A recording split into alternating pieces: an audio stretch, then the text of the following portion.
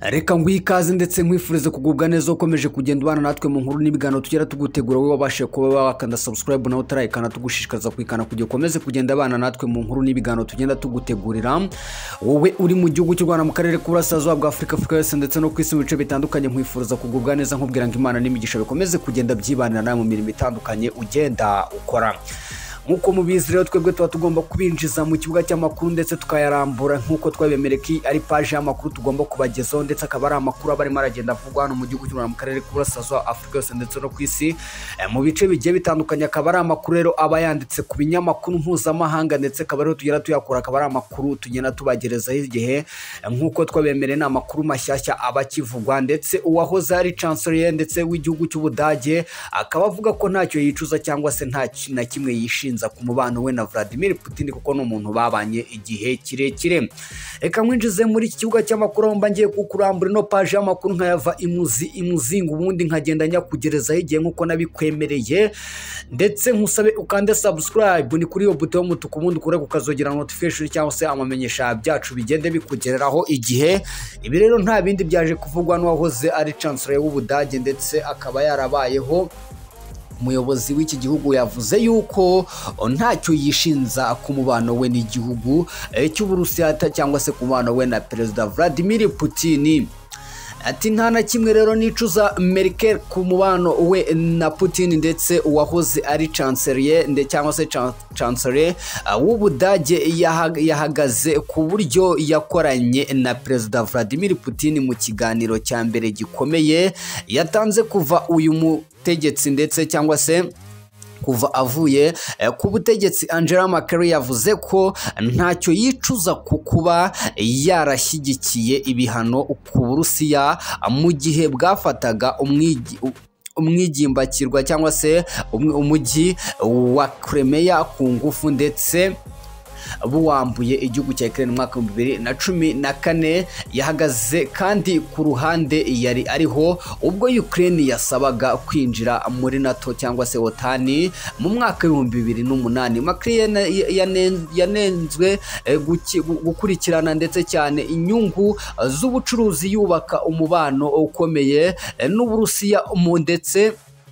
umuhora utwara gaze wa Stream 2 eh, uyivana rero mu Burusiya ukayijya ukayigeza ah, mu gihugu cy'Ubudage wubatswe ndetse ari mu butegetsi ariko ufungwa n'uwamusimbuye Olaf Scholz ndetse mbere gato y'uko Uburusiya butera Ukraine tariki makumyabiri n'enye Gashyantare ndetse ubwo ni mu kwezi kwa kabiri Ubudage ubu rero buri buri eh, ku gitutu cyo gufatira ndetse cyo gufatira ibihano ndetse ubu- Uburusiya ah, kubera ibitero byabwo ndetse iki gihugu cy'Uburusiya cyaje kuba cyagaba ah, ku gihugu cya Ukraine ariko kandi bugowe no kugabanya mu buryo butaz- buta- butazaha- butazahaje ndetse ubu- ubukungu bwabwo ndetse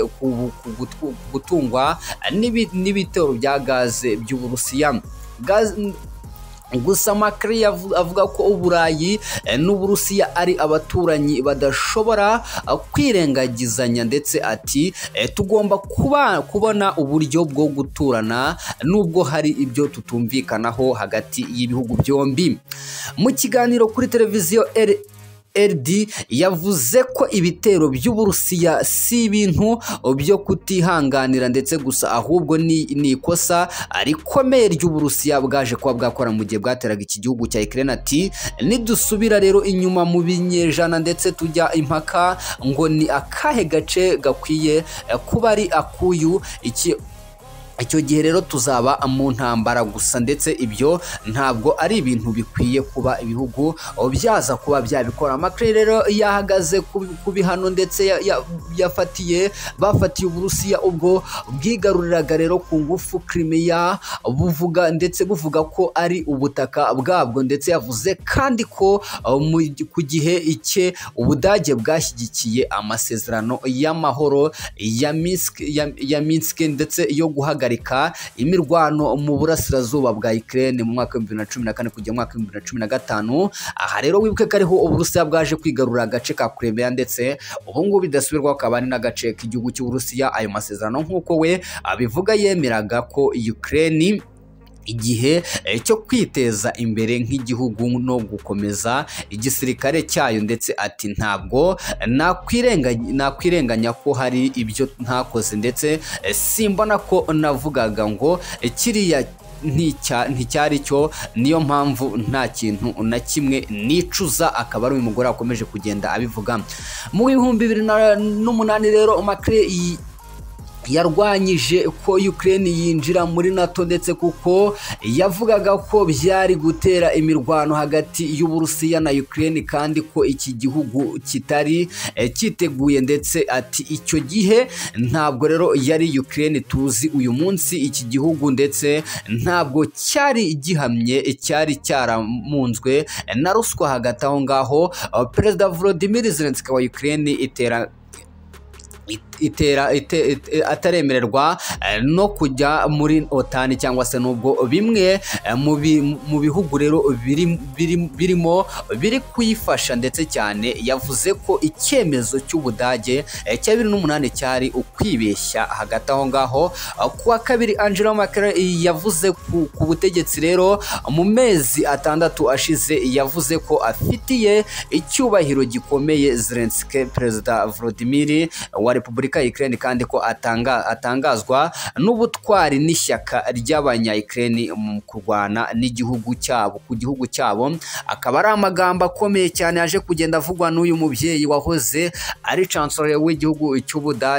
cy'ubudage mu myaka yagiye ishira ndetse ni muri cya gihugu cy'uburusiya cyaje kugera kigaba ibitero bidasanzwe kuri Ukraine. Ni mu mwaka w'ibihumbi bibiri na cumi na kane rero aho Ukraine nanone baje kuba bayitwara agace gakomeye cyane ka Crimea kakaba kariyometse ku butaka bw'igihugu cy'uburusiya nta wundi wabikoraga yari Vladimir Putin ndetse akaba ari perezida w'iki gihugu kano gace bakaba barakegukanye mu mwaka w'ibihumbi bibiri na cumi na kane ku itariki icyenda z'ukwezi kwa gatanu ubwo banasereburaga ndetse umunsi w'intsinzi y'abanazi ndetse batsinzemo batsinzwemo batsindwa na leta y'uburusiya yitwaga abasoroviyeti muri icyo gihe rero ubwo ngubwo baza kuba bakegukana kano gace ndetse reka dutegereze ibindi bice uburusiya bushaka kuba bwakigarura mu gihugu cya Ukraine turebe ko buzakigarurira. Ni ibintu bikomeje guhindura isura ni ibintu bikomeje ni ibintu rero bikomeje kugenda bihindura isura ndetse ikaba ikomeje kuba intambara karundura hagati aho ngaho ubu ngubu rero igihugu cya Ukraine kikaba gikomeje gusumbirizwa n'intambara. Uburusiya bukomeje kukigabaho gusa ubu ngubu n'intwaro zari zoherejwe n'igihugu cya Amerika nk'uko zari zije kuzibya ibitero by'igihugu cy'uburusiya zikaba uburusiya bwabo zitwitse zose. Ni inkuru twaje kugenda tubagezaho mu mwanya wagiye ushira ndetse akaba ari inkuru twaje kugenda tubabwira ndetse uko bigiye bihagaze hagati aho ngaho ubu rero Ukraine ikaba yibaza uburyo intambara izayivamo.